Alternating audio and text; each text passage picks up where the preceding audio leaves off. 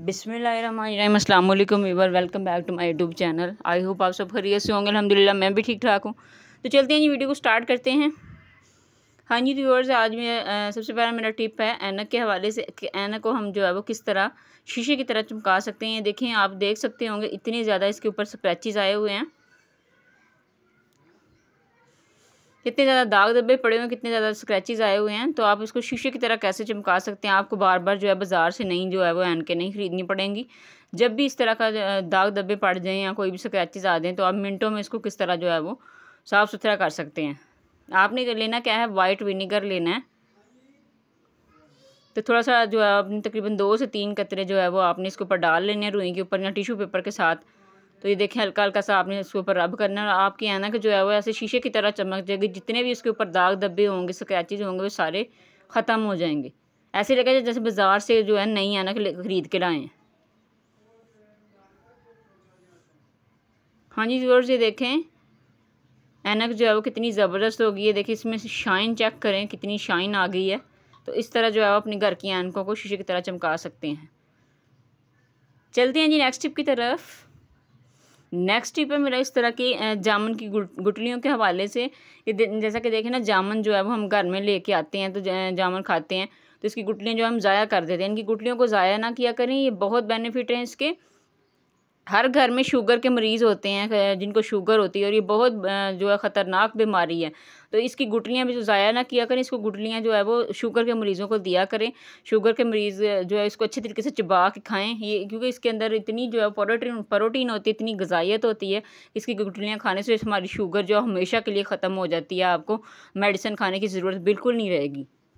तो है ना मज़ेदार सी टिप? चलते हैं जी नेक्स्ट टिप की तरफ़। नेक्स्ट टिप पे हमें रखे इस तरह की बुक्स के वाले से कि बुक्स जो है बच्चे बैठ के पढ़ते हैं। जब भी हमारे बच्चे पढ़े होते हैं तो पंखा चल रहा होता है या एयर कूलर चल रहा होता है तो उनके जो है बार बार कागज़ जो है वो उड़ते हैं बार बार उनके पेजेस जो है वो उड़ते हैं। आपने करना क्या है? ये देखें इस तरह का कैप वाला जो पेंसिल ले लें या मार्कर ले लें या पेन ले लें, या देखें। आप देख सकते हैं आप देख सकते हैं, ये देखिए कितना ज़बरदस्त जो है मैंने कैप उसके ऊपर लगा दिया और कभी भी आपके बच्चे हों बार बार डिस्टर्ब नहीं होंगे, उनके पेज जो है वो इधर उधर नहीं होंगे और वो इजीली बैठ के पढ़ सकेंगे। है तो छोटी सी टिप है, लेकिन बहुत यूज़फुल है, ज़रूर ट्राई कीजिएगा। चलते हैं जी नेक्स्ट टिप की तरफ़। नेक्स्ट टिप में मेरा इस तरह की साबनदानी के हवाले से साबनदानी जो है उसके अंदर साबुन रखते हैं तो वो हमारा साबुन जो है वो अक्सर होता है गीला होने की वजह से बार बार जो साबुनदानी भी गंदी होती है तो साबुन भी जो है वो गल जाता है और बार बार फूल जाता है, इतनी मंगा, फूल जाता है। बार इतनी महँगाई के दौर में जो है वो आपको बार बार जो है बाज़ार से साबन लाने पड़ते हैं इतनी महँगाई के दौर में रुपये पैसे की बचत किया करें। आप इसको किस तरह जो है वो महीनों तक चला सकते हैं। आपने करना क्या है? रबड़ बैंड आपने ले लेनी है। डबल ले लें या ट्रिपल ले लें। ये मैं डबल डबल जो है रबड़ बैंड ले रही हूँ। हर घर में होती हैं बच, बच्चियों के लिए हम हम लोग इस्तेमाल करते हैं। देखें आपने तकरीबन तीन से चार तहें इसके ऊपर चढ़ा लेनी है फिर इसके ऊपर आपने साबन रखना है। ये देखें, आपका साबुन लंबे अरसे तक चलेगा, कभी भी ये साबुनदानी को गंदा नहीं करेगा और कभी भी ये जो साबुन जो गलेगा नहीं और हमेशा के लिए सही रहेगा। ये देख सकते हैं आपको मैं लाइव रिज़ल्ट चेक करवा रही हूँ, देखें आपकी कभी भी साबुनदानी के साथ महीनों तक गंदी नहीं होगी और ये लंबे अरसे तक चलेगा। छोटी सी टिप है, लाजमी ट्राई कीजिएगा। चलते हैं जी नेक्स्ट टिप की तरफ़। नेक्स्ट टिप है मेरा इस तरह के अंडे के हवाले से, जैसा कि देखें ना, ये हम अंडा तोड़ते हैं तो इसका जो अक्सर होता है जल्दी जल्दी में हम अंडा बनाने लगते हैं तो जब तोड़ के डालते हैं तो ये ये जो छोटा वाइट वाला पार्ट होता है, अक्सर उसके अंदर गिर जाता है। तो ये देखिए इसको हम जब निकालते हैं तो हमारा निकलता नहीं है, क्योंकि ये जो वाइट वाला पार्ट होता है ना इसका, ये काफ़ी जो लेसदार होता है।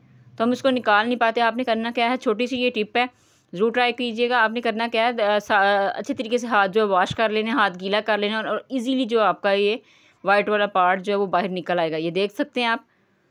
जैसा ही आप अपनी फिंगर को, अपने हाथ को गीला करेंगे और ये ईज़िली आप इसको निकाल सकेंगे छिलके को।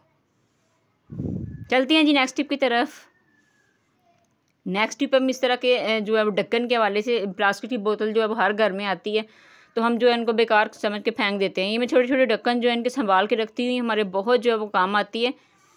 काम आते हैं, ये देखें, आपने करना क्या है? ये देखें, आपने डबल टेप लेके ये तीन से चार ढक्कन जो है, मेरे पास तीन ढक्कन मौजूद हैं। ये double tape double size tape के साथ आपने इसको चिपका देना है। आप, आपको बहुत अच्छा इसका यूज़ बताती हूँ कि आप इसको किस तरह यूज़ कर सकते हैं। ये देखें, आपके जितने भी घर के ब्रश होते हैं, बच्चों के ब्रश होते हैं, बड़ों के होते हैं, आप इस तरह आपको इनको लटका सकते हैं। ये देखिए देखने में भी कितना खूबसूरत लग रहा है। इतना अच्छा ऑर्गेनाइज़र जो मैंने आपको बना के दिखाया है। ये देखें कितने प्यारे लग रहे हैं। आपकी चीज़ भी सिमट जाएगी और ये देखें, इतना अच्छा ऑर्गेनाइज़र बन के दिखाया मैंने। चलते हैं जी नेक्स्ट टिप की तरफ़। नेक्स्ट टिप है मेरा इस तरह के सिंक के हवाले से कि इस तरह का सिंक जो है हमारा गंदा, ये मेरा वॉश होने वाला था सिंक तो मैंने सोचा आपसे छोटा सा टिप शेयर करूँ।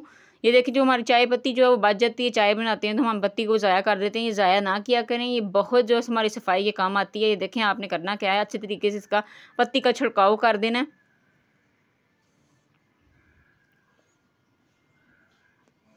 ये हमारी सेहत के लिए बहुत अच्छी होती है और इस सफ़ाई में भी बहुत अच्छा जो है काम करती है, बहुत अच्छा किरदार अदा करती है। देखिए, सारी पत्ती जो है मैंने छिड़काव कर दी है।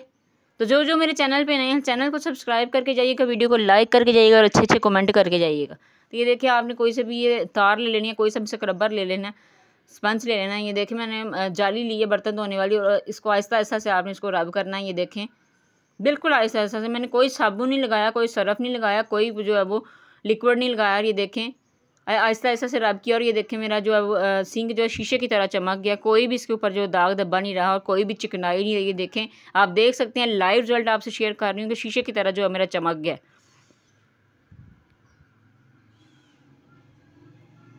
तो इसी के साथ मैं वीडियो को एंड करती हूँ। मिलती हूँ इंशाल्लाह नेक्स्ट वीडियो में अच्छी सी वीडियो के साथ। तब तक के लिए अल्लाह हाफिज़।